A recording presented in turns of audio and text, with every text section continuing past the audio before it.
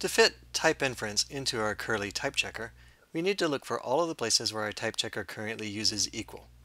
In all of those places, we're checking that some type is exactly equal to some other type.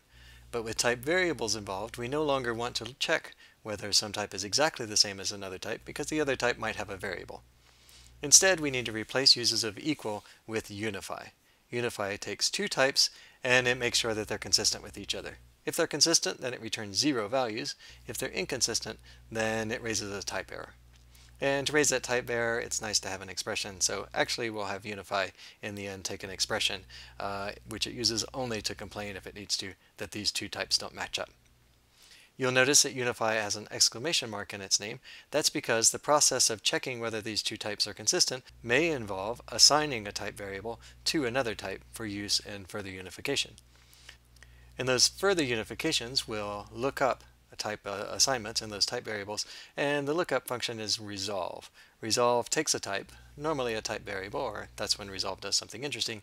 If it gets a type variable and that type variable has been assigned to another type, then resolve returns that other type, and it recurs so that it can look through chains of type assignments.